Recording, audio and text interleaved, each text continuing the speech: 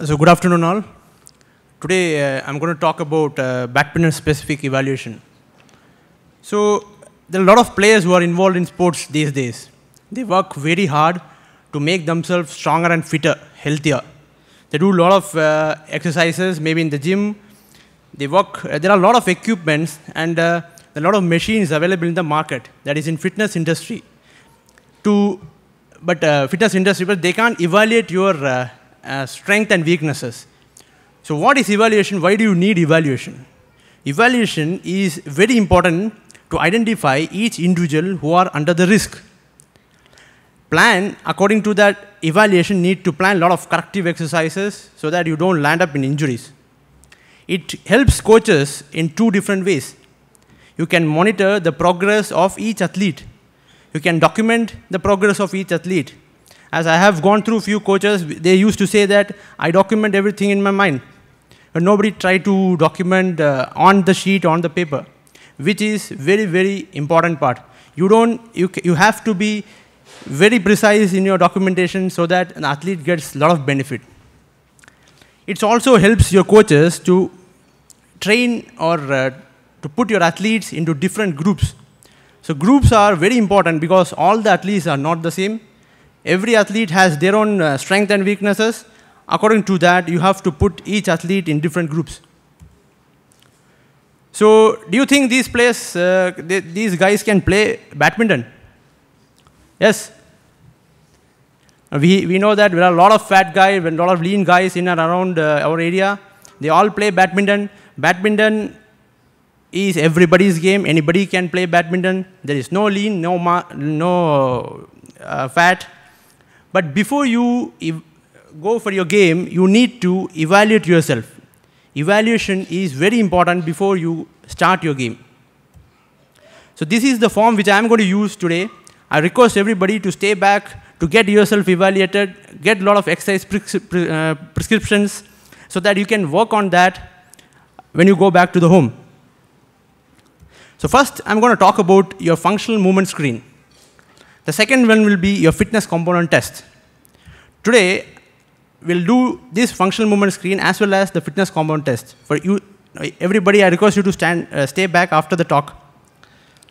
So functional movement screen is what is just a tool. It's not an exercise. It's, it, it, it has uh, seven uh, components. The first one will be your deep squat. Second, your hurdle step. The third one is your inline lunges, Sh shoulder mobility, the active SLR, trunk stability push-up, and rotatory stability. Don't get afraid, no, you are all going to do all these things. So first one, as you can see in the picture, do you think uh, this guy does anything wrong? He does a deep squat.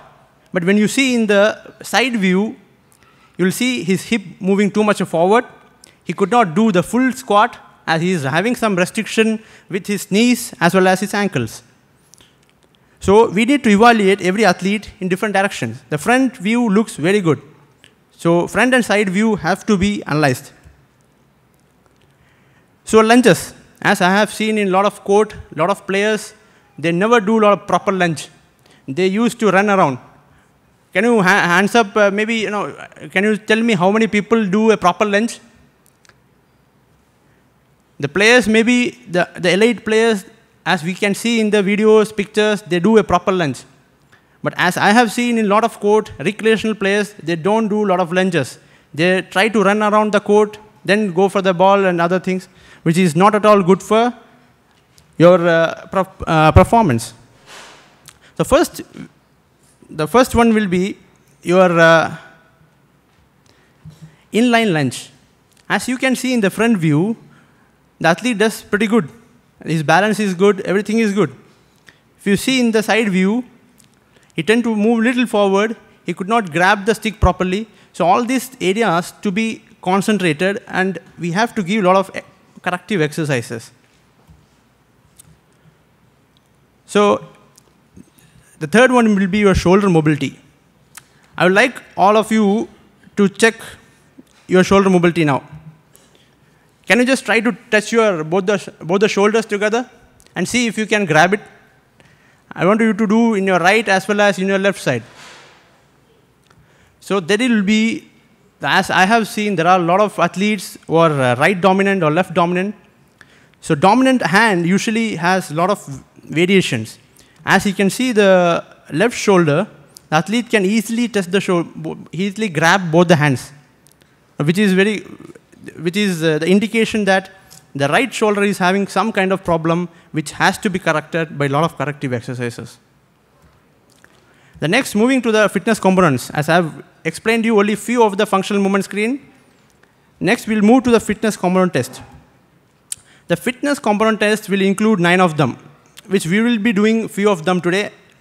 The first will be anthropometry. Second is your flexibility.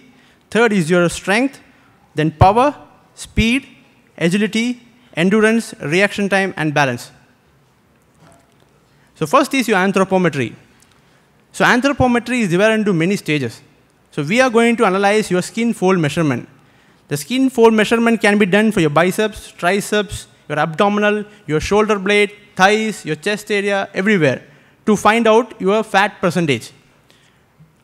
This is a simple test which you can do it anywhere, which you have to grab the part of the skin and you need to calculate it. This is for the abdominal area.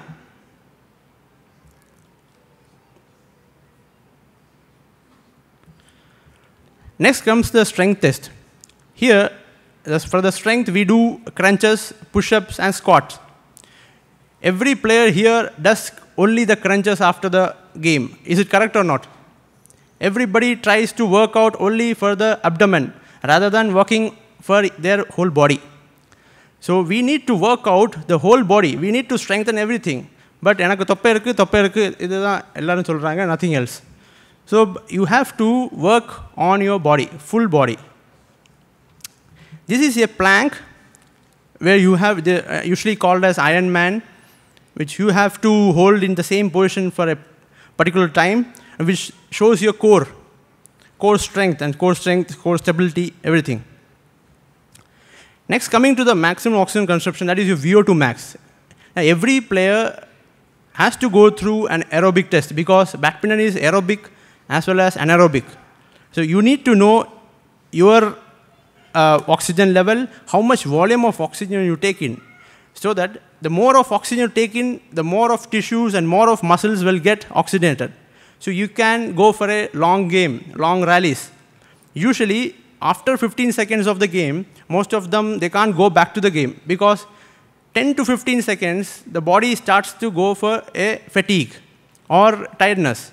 That is just because some of the uh, substrate, substrates like uh, lactic acid, as Sir told, uh, lactic acid, acetylcholine, everything decreases. So you need to train yourself to increase lactic acid, which is just the acidity which is formed in the cell. Lot of trainings available in, in these days, like interval training and uh, a lot of uh, cardio training. This simple reaction time test, where you will ask your athlete to hold this scale or the ruler. So this will show the eye and hand coordination, which is very important for each player. Badminton is really a very fast game. You need to have a proper uh, coordination of your eyes and hand. So I'll take you all to the few examples. Many of them over here may be going through these problems. The first scenario is an eight-year boy, eight-year-old boy, parents come to badminton coaching camp. They want to make the child uh, very strong, very uh, professional. Uh, they want to uh, get him to the professional badminton uh, uh, part. So what are the things we should properly evaluate? So evaluate the strength and weakness of the kid. Then see how flexible he is, his balance, everything. So these are the few things which I am explaining, but there are a lot of other things which has to be analyzed. So without analyzing or without evaluating, don't push your child, don't push your child to the game. Evaluation can give, you know, can put the children and kids into particular groups. They are there to only to enjoy the game. Don't try to push them hard. Next is next scenario where I'll tell you, uh, do you think the evaluation will be different for each player?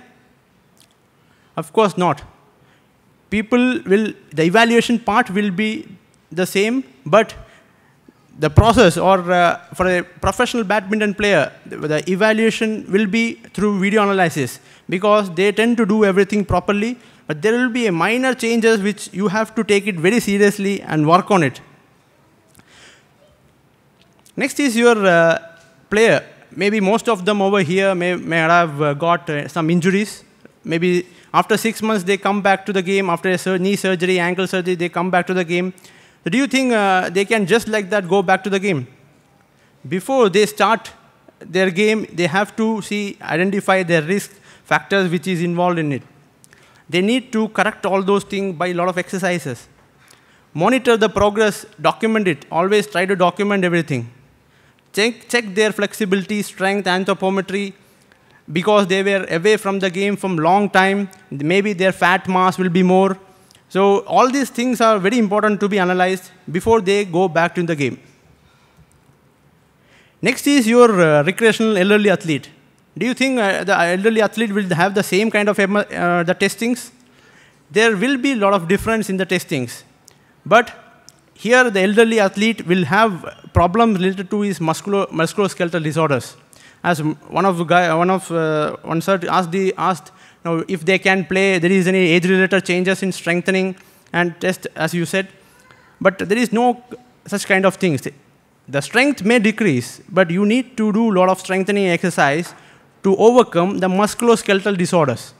So without overcoming all those things, without overcoming flexibility and strength, you can't go back to the game. If you go back to the game, you definitely get injured. You will be back on the bed.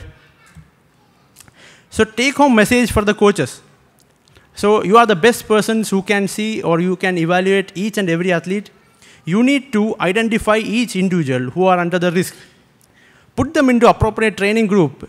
Put a training group, ask them to train properly, make sure that they are perfect, then ask them to come back to the game. Monitor it. Please monitor it, document it. Keep a proof that you have document, uh, you have monitored or you have analyzed one kid. Just document it. Nothing to lose. You have to document it. Take home message for players. You know your uh, capacity, you know your problems, you know your weakness. You need to have, uh, you need to seek a professional help without hesitating. You need to get an advice from a sports medicine professionals or doctors. Take home message for sports medicine team. Do a proper assessment after injury. We, are, we need to do a lot of new things, new assessments to correct a lot of abnormal movements, and exercise has to be given in a uh, um, roadmap kind of thing that he has to do this much, these exercises this month, then he has to go through the next level of exercise, then you can't uh, give everything together and ask the athlete to go off. You need to give a roadmap, which includes the exercises for different months. And do the periodical evaluation. Evaluation is what not done only once you need to evaluate him regularly. Just watch this video. Assume that this car is an athlete.